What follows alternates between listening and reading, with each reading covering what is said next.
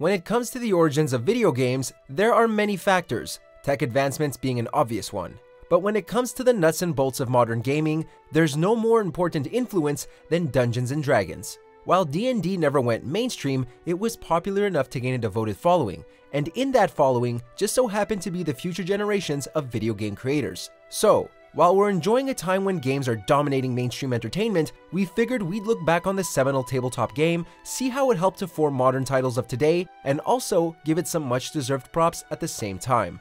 Before we begin, we publish new content all week long, so be sure to subscribe and ring the bell to get notified about our latest videos.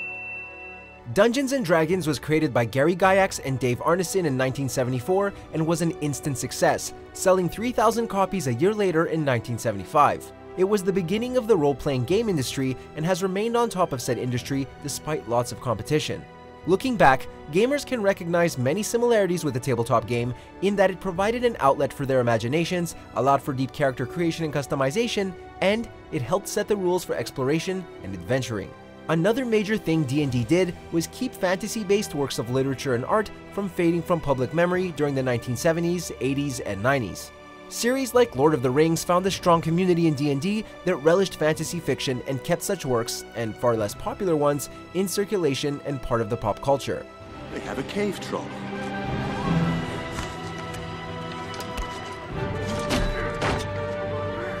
In fact, the kids playing D&D during the 70s and 80s were the ones who would grow up and start creating the video games we know and love today.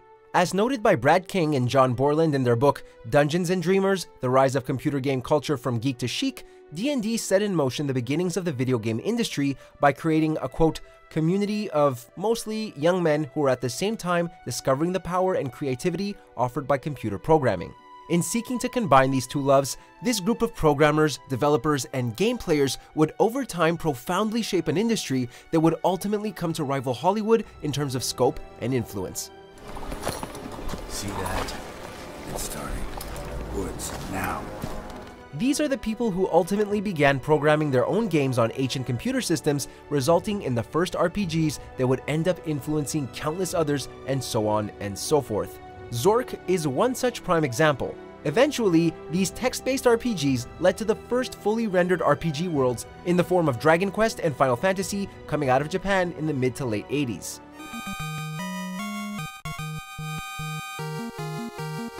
As mentioned, Dungeons & Dragons helped free players' imaginations and created concepts that we take for granted in today's video games. We've progressed to a point now where players are hunting, fishing, sleeping, and eating in games, as well as battling monsters, learning magic, and saving damsels in distress. Character creation is another D&D trope that is alive and well today, with many games offering such vast creation systems that gamers spend hours on end perfecting their own heroes and enemies. Also, as games progress, we're seeing choice affect the narrative in a way unheard of just a few years ago, but in a way which Dungeons & Dragons players have been well aware of for decades. It's a massive rift into the world of demons that grows larger with each passing hour. D&D also helped shape the very mechanics that many games use today in terms of hit points, experience points, and leveling up.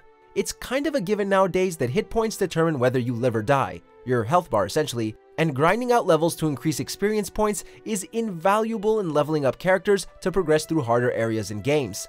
Think of the Baldur's Gate series, which is set in the Forgotten Realms, one of D&D's most popular campaign settings. Furthermore, armor and weapon systems are another D&D creation. I mean, can you even think of a modern RPG that doesn't employ the hunt, search, and upgrading of such items? Also, don't forget classes and races as well, which give us different skill sets and unique powers right from the beginning of a playthrough. Yes, Dragon Age series, thank D&D for that. In fact, Many games took the rules of Dungeons & Dragons and simply adapted them to video games. Star Wars Knights of the Old Republic uses the D20 system, the same system used by 3rd edition D&D as the foundation for combat. Each attack is determined by each character's modifiers and an invisible dice roll that you can actually see if you open up the menu.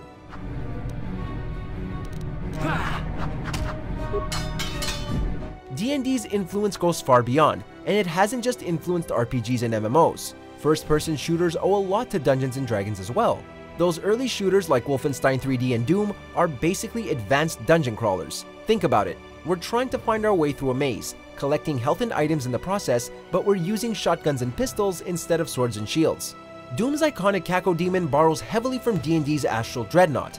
Hell, the monsters found in many FPS games were probably cooked up in the imagination of D&D players long ago over some dice, a rulebook, and some paper and pencils.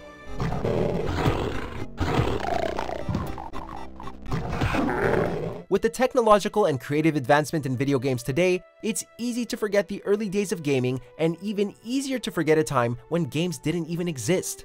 While role-playing video games have done a great job of trying to capture the magic of D&D, the classic pen and paper game still provides more narrative freedom and interactive possibilities than any video game ever could. The immersive and beautifully rendered RPGs we know and love today are built on a foundation of pens, paper, dice, and the imaginations of Gary Gygax and Dave Arneson, without whom the video game landscape would look very different. And that's where we'll end tonight's session. Wait, what? No! I want to keep playing!